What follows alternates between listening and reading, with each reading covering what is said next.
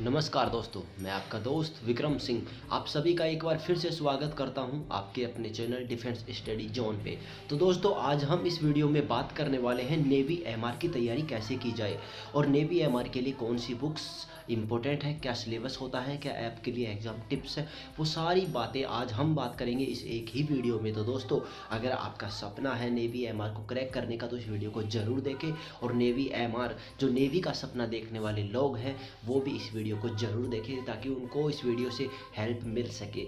उससे पहले मैं आप सभी को बता दूँ दोस्तों, अगर आप हमारे चैनल पर पहली बार आए हैं तो डिफेंस स्टडी जोन चैनल को सब्सक्राइब कर लें और साथ ही बनने वाले बेल आइकन को भी प्रेस कर लें ताकि मैं जो कोई भी वीडियो डालूँ, उसका नोटिफिकेशन सबसे पहले आपको मिले और आप उस वीडियो को देख सके और अपने नॉलेज को पढ़ा सके। हम जल्द ही आप लोगों के लिए नेवी एम कोर्स लॉन्च करेंगे दोस्तों। इस यूट्यूब चैनल पर तो सब्सक्राइब करना बिल्कुल भी ना भूलें। तो चलिए शुरुआत करते हैं आज के वीडियो की।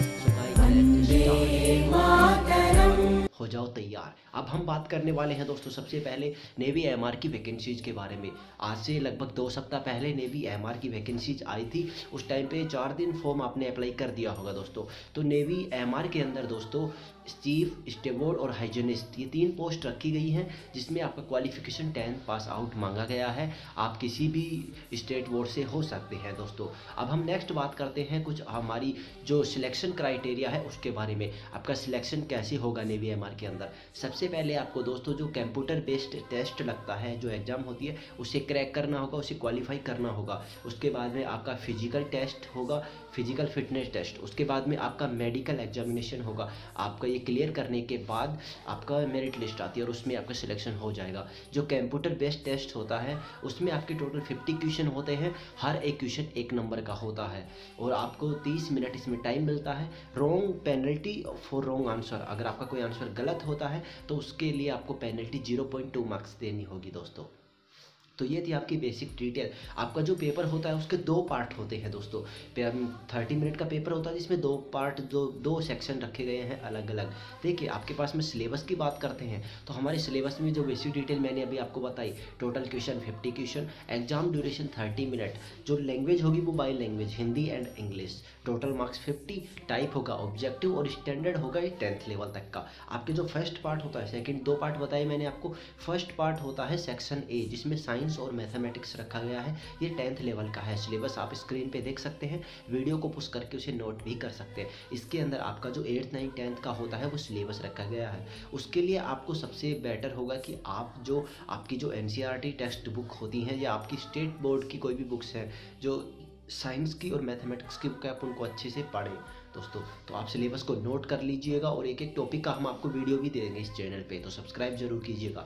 आपका जो सेक्शन बी है जनरल अवेयरनेस जिसके अंदर आपकी जो जियोग्राफी है जियोग्राफी में आपकी soil rivers mountain ports islands and जो और टॉपिक्स हैं, उनको ऐड किया गया है। आपकी इसमें बचे हुए हिस्ट्री आती है दोस्तों हिस्ट्री के अंदर भी जो आपकी नाइन टेंथ में चलती है, वही हिस्ट्री है बेसिक सी। उसके बाद में आपकी जियोग्राफी होगी हिस्ट्री होगी, उसके बाद में आपकी थोड़ी सी, थोड़ा कुछ इकोनॉमिक्स है करंट अफेयर्स है, और जो हमारी जो बेसिक होता है, जैसे sports championship winner terms number of players ये जो हमारे जो अदर जो है, कुछ इंपॉर्टेंट जो है, उनको ऐड किया गया है। हम आपको इस चैनल पे हर एक टॉपिक का अलग अलग वीडियो देंगे। तो आप हर एक वीडियो को देखना दोस्तों, और अपने एमआर के सिलेक्शन को श्योर करना। तो सब्सक्राइब ज़रूर कर लीजिएगा चैनल को। तो ये हमने आपको सब कुछ बता दिया है नेवी एमआर के बारे में दोस्तों।